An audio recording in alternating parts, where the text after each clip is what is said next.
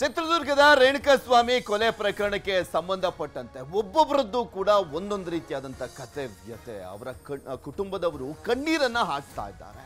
ಸ್ವಾಮಿ ಕೊಲೆ ಕೇಸ್ನಲ್ಲಿ ಕಾರು ಚಾಲಕ ರವಿ ಜೈಲಿಗೆ ಹೋಗಿರುವಂಥದ್ದು ಸ್ವಾಮಿ ಕೊಲೆ ಕೇಸ್ನಲ್ಲಿ ಚಿತ್ರದುರ್ಗದ ರವಿ ಆರೋಪಿ ನಂಬರ್ ಏಟ್ ಇಲ್ಲಿ. ಸಂಕಷ್ಟದಲ್ಲಿ ಕಾಲವನ್ನ ದೂಡ್ತಾ ಇದೆ ರವಿ ಕುಟುಂಬ. ಈ ಟೋಟಲ್ ಆಗಿ ಹದಿನೇಳು ಜನ ಇದ್ದಾರಲ್ಲ. ಇದರಲ್ಲಿ ಒಂದು ಐದು ಜನರನ್ನ ಹೊರತುಪಡಿಸಿ ಇನ್ನೆಲ್ಲರ ಫ್ಯಾಮಿಲಿಯ ಕಥೆಯಂತೂ ಹೇಳತೀರದು. ಪ್ರತಿನಿತ್ಯ ಕಣ್ಣೀರಲ್ಲಿ ಕೈ ತೊಳೆಯುವಂತಾಗಿದೆ ಅವರು. ಅನಾರೋಗ್ಯದಿಂದ ಬಳ್ತಾ ಇದ್ದಾರೆ ರವಿ ತಾಯಿ. ಮತ್ತು ಒಂದ್ ಕಡೆ ಅವರ ಹೆಂಡತಿ ಮಕ್ಕಳ ಶಾಲೆ ಫೀಸನ್ನು ಕಟ್ಟಲಾಗದೆ. ಕಂಗಾಲಾಗಿರುವಂಥದ್ದು, ಶಾಲೆಯನ್ನು ಬಿಡಿಸುವಂಥ ಪರಿಸ್ಥಿತಿ ಎದುರಾಗಿದೆ ಅವ್ರಿಗೆ. ಕಾರು ಸಾಲ, ವಿವಿಧ ಸಂಘಗಳ ಸಾಲದ ಸಂಕಷ್ಟ ಎದುರಾಗಿದೆ. ರವಿ ದುಡಿದ್ರನೇ ಇವ್ರ ಜೀವನ ನಡೀತಾ ಇತ್ತು, ಇವ್ರ ಕುಟುಂಬದ ನಿರ್ವಹಣೆ, ಸಂಸಾರದ ನಿರ್ವಹಣೆ ಆಗ್ತಾ ಇತ್ತು. ಆದರೆ ಈಗ ರವಿ ಜೈಲಲ್ಲಿ ಹೋಗಿ ಕುತ್ಕೊಂಡಿದ್ದಾನೆ. ಯಾವೊಂದೋ ಮಾತು ಕತ್ಕೊಂಡು ಹೋಗ್ಬಿಟ್ಟು ಈಗ ರೇಣುಕಾ ಸ್ವಾಮಿ ಕೊಲೆ ಆದ ಬಳಿಕ ಜೈಲಲ್ಲಿ ಕೊಳೆಯುವಂತಾಗಿದೆ. ಬಾಡಿಗೆಗೆ ಕಾರು ಬಿಟ್ಟು ದುಡಿತಾ ಇದ್ದಂಥ ರವಿ. ರವಿ ಬಂಧನದಿಂದ ಕುಟುಂಬವೇ ಕಂಗಾಲಾಗೋಗಿದೆ. ಬೀದಿಗೆ ಬೀಳುವಂಥ ಪರಿಸ್ಥಿತಿಯಲ್ಲಿ ರವಿ ಕುಟುಂಬ ಇರುವಂಥದ್ದು ಆ ತಾಯಿಯ ಫೋಟೋವನ್ನು ಕೂಡ ನಿಮಗೆ ತೋರಿಸ್ತಾ ಇದ್ದೀವಿ ನೋಡಿ, ಕೈಯೆಲ್ಲ ನಡುಕ್ತಾ ಇದೆ. ಆ ತಾಯಿ ಸರಿಯಾಗಿ ಊಟ ಮಾಡ್ಲಿಕ್ಕೆ ಆಗ್ತಾ ಇಲ್ಲ, ಅನಾರೋಗ್ಯದ ಪರಿಸ್ಥಿತಿ ಕೂಡ ಇರುವಂಥದ್ದು ಅವ್ರ ಮಕ್ಕಳು ಕೂಡ ಶಾಲೆಗೆ ಹೋಗದಂಥ ಪರಿಸ್ಥಿತಿ ಎದುರಾಗ್ತಾ ಇದೆ. ಬಿಕಾಸ್ ದುಡ್ಡಿಲ್ಲ, ಇನ್ನು ಒಂದು ಕಡೆ ಅವ್ರ ಹೆಂಡತಿ ಏನಾದರೂ ದುಡಿದ್ರೆ ಮಾತ್ರನೇ ಇವ್ರ ಸಂಸಾರ ನಿರ್ವಹಿಸ್ಲಿಕ್ಕೆ ಆಗುವಂಥ ಪರಿಸ್ಥಿತಿ ಎದುರಾಗಿದೆ. ಇದ್ರ ಬಗ್ಗೆ ಮತ್ತಷ್ಟು ಮಾಹಿತಿಯನ್ನ ಕೊಡ್ತಾ ಹೋಗ್ತಾರೆ. ನಮ್ಮ ಚಿತ್ರದುರ್ಗದ ಪ್ರತಿನಿಧಿ ವಿನಾಯಕ್ ನಮ್ಮ ಜೊತೆ ದೂರವಾಣಿ ಸಂಪರ್ಕದಲ್ಲಿ ಜಾಯಿನ್ ಇದ್ರೆ ವಿನಾಯಕ್, ನೋಡ್ತಾ ಇದ್ವಿ, ಒಬ್ಬೊಬ್ಬರ ಕತೆ ವ್ಯತ್ಯನ ನಿಜಕ್ಕೂ ದಿನನಿತ್ಯನೂ ಕೂಡ ಕಣ್ಣೀರಲ್ಲಿ ಕೈ ತೊಳೆಯುವಂಥ ಪರಿಸ್ಥಿತಿ ಅಂತ ಕಾಣಿಸುತ್ತೆ. ರವಿ ಕುಟುಂಬದ ಪರಿಸ್ಥಿತಿ ಹೇಗಿದೆ ಅಂತ ಏನ್ ಮಾಡ್ತಾ ಇದ್ದಾರೆ ಇವಾಗ? ಪೃಥ್ವಿರಾಜ್ ಏನು ರೇಣುಕಾಸ್ವಾಮಿ ಹತ್ಯೆ ಕೇಸಲ್ಲಿ ಈಗಾಗಲೇ ಜೈಲು ಸೇರಿರ್ತಕ್ಕಂತ ಆರೋಪಿಗಳ ಕುಟುಂಬಗಳ ಪರಿಸ್ಥಿತಿ ನಿಜಕ್ಕೂ ಕೂಡ ಸಂಕಷ್ಟಕ್ಕೆ ಸಿಲುಕಿರುವಂತದ್ದು ಅದರಲ್ಲೂ ಕೂಡ ಚಿತ್ರದುರ್ಗದಿಂದ ಏನು ಬಾಡಿಗೆ ಕಾರಲ್ಲಿ ಅವರನ್ನ ಡ್ರಾಪ್ ಮಾಡಿದ್ದ ಅನ್ನಂತ ರವಿ ಇವತ್ತು ಜೈಲು ಸೇರಿದ್ದಾನೆ. ಅವ್ರ ಕುಟುಂಬವು ಕೂಡ ನಿಜಕ್ಕೂ ಸಂಕಷ್ಟಕ್ಕೆ ಸಿಲುಕಿದೆ. ಯಾಕಂತ ಹೇಳಿದ್ರೆ ಅವರ ಮನೆಯಲ್ಲಿ ದುಡಿದು ಜೀವನವನ್ನ ಸಾಗಿಸ್ತಾ ಇದ್ದಂತವನು ಅವನೊಬ್ನೇನೆ ಅವರ, ಅವನ ಮೇಲೆನೆ ಅವರ ಮಕ್ಕಳು, ಪತ್ನಿ ಮತ್ತೆ ತಾಯಿ ಕೂಡ ಅವಲಂಬಿತರಾಗಿದ್ರು. ಅವ್ನು ದುಡಿದ್ರೇನೆ ಆ ಜೀವನ ಸಾಗ್ಲಿಕ್ಕೆ ಸಾಧ್ಯ ಆಗಿತ್ತು ಅನ್ನೋಂತ ಪರಿಸ್ಥಿತಿ ಇವನ್ ಇವ್ ನಿಜಕ್ಕೂ ನಿರ್ಮಾಣ ಆಗಿರತಕ್ಕಂಥದ್ದು. ಇದೀಗ ಅವನು ಜೈಲು ಸೇರಿರುವಂತಹ ಕಾರಣದಿಂದಾಗಿ ಅವರ ಇಡೀ ಕುಟುಂಬ ಏನು ಒಂದು ನಷ್ಟವನ್ನ ಅನುಭವಿಸ್ತಾ ಇದೆ. ಏನು ಪ್ರತಿನಿತ್ಯದ ಜೀವನಕ್ಕೂ ಕೂಡ ಅವರು ಪರದಾಡುವಂತ ಪರಿಸ್ಥಿತಿ ಎದುರಾಗಿದೆ.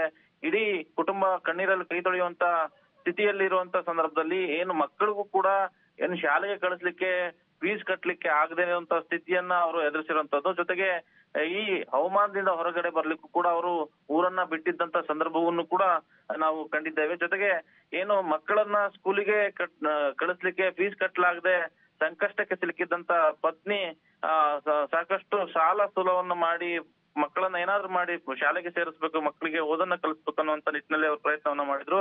ಜೊತೆಗೆ ಏನು ಆ ದುಡಿಲಿಕ್ಕೆ ಅಂತಾನೆ ಒಂದು ಕಾರನ್ನ ಕೊಂಡ್ಕೊಂಡಿದ್ರು. ಆ ಕಾರು ಬಾಡಿಗೆ ಹೋಗದೆ ಇರೋಂತ ಕಾರಣ. ಮತ್ತೇನು ಇಂಥ ಪರಿಸ್ಥಿತಿ ನೋಡ್ತಾ ಇದೀವಲ್ಲ ವಿನಾಯಕ್? ಮೇ ಬಿ ಇವರಿಗೆ ಕೋರ್ಟ್ ವಿಚಾರ ಅನ್ನುವಂಥದ್ದು ಗೊತ್ತೇ ಇಲ್ಲ ಅಂತ ಕಾಣಿಸುತ್ತೆ. ಈಗ ಬೇಲ್ಗೆ ಅಪ್ಲೈ ಮಾಡೋದು, ಅದು ಇದು, ಅದೆಲ್ಲ ಯಾರು ನೋಡ್ಕೊಳ್ತಾ ಇದ್ದಾರಂತೆ? ಹೋಗ್ಲಿ, ಇಲ್ಲೇ ಬೆಂಗಳೂರಿನಲ್ಲೇ ಈಗ ದರ್ಶನ್ಗೆ ಯಾರೆಲ್ಲ ಏನು ವಕಾಲತ್ತನ್ನು ವಹಿಸ್ತಾ ಇದ್ದಾರೆ, ಅವರೇ ಏನಾದರೂ ನೋಡ್ಕೊಳ್ತಾ ಇದ್ದಾರೆ? ಅಥವಾ ಅವ್ರ ಕಡೆ ಗಮನನೇ ಕೊಟ್ಟಿಲ್ವಾ? ಸದ್ಯ ಏನು ರವಿ ಜೈಲಿಗೆ ಹೋದಂತ ದಿನದಿಂದ ಈವರೆಗೂ ಕೂಡ ಅವ್ರಿಗೆ ನಿಜಕ್ಕೂ ದಿನನಿತ್ಯದ ಬಳಕೆಗೂ ಕೂಡ ಹಣ ಇಲ್ಲ ಅನ್ನುವಂತ ಮಾತನ್ನ ಅವರ ಪತ್ನಿ ಮತ್ತೆ ಅವ್ರ ಕುಟುಂಬಸ್ಥರು ಹೇಳ್ತಕ್ಕಂಥದ್ದು. ಜೊತೆಗೆ ಏನು ಅವರನ್ನ ಬೇಲ್ ವ್ಯವಸ್ಥೆ ಮಾಡ್ಕೋಬೇಕಾಗಿದೆ, ಅದಕ್ಕೂ ಕೂಡ ನಮ್ಮ ಹತ್ರ ಹಣವಿಲ್ಲ. ಅವ್ರು ಯಾರು ಕರ್ಕೊಂಡು ಹೋಗಿದ್ರು ಅವರೇ ನನ್ನ ಪತಿಯನ್ನ ಬಿಡಿಸ್ಕೊಂಡ್ ಬರ್ಲಿ ಅನ್ನುವಂತ ಮನವಿಯನ್ನು ಕೂಡ ಪತ್ನಿ ಕವಿತಾ ಮಾಡಿರ್ತಕ್ಕಂಥದ್ದು. ಜೊತೆಗೆ ಏನು ಇಲ್ಲಿವರೆಗೂ ಕೂಡ ಈ ಬೇಲ್ ವ್ಯವಸ್ಥೆಯನ್ನ ಮಾಡ್ಲಿಕ್ಕೆ ಅವರ ಹಣ, ಬಳಿ ಹಣ ಇಲ್ಲದೆ ಇರೋ ಕಾರಣಕ್ಕೋಸ್ಕರ ಈವರೆಗೂ ಯಾವುದೇ ಪ್ರಯತ್ನವನ್ನು ಕೂಡ ಮಾಡಿಲ್ಲ ಅನ್ನುವಂತ ಮಾಹಿತಿ ನಮಗೆ ಲಭ್ಯವಾಗಿರ್ತಕ್ಕಂಥದ್ದು ಪೃಥ್ವಿರಾಜ್.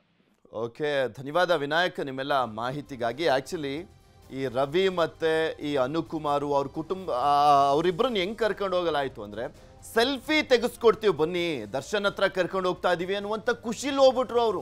ಹಂಗೆ ಒಂದು ಬಾಡಿಗೆನೂ ಕೂಡ ಆಗುತ್ತೆ ಅನ್ನುವಂಥ ಲೆಕ್ಕಾಚಾರದಲ್ಲಿ ಹೋಗಿದ್ದು. ಎಂಥ ದುರಂತ ನೋಡಿ. ಅವತ್ತು ಹೋದಂಥವ್ರು ನೆಕ್ಸ್ಟ್ ಜೈಲ್ಗೆ ಹೋಗಿರುವಂಥದ್ದು.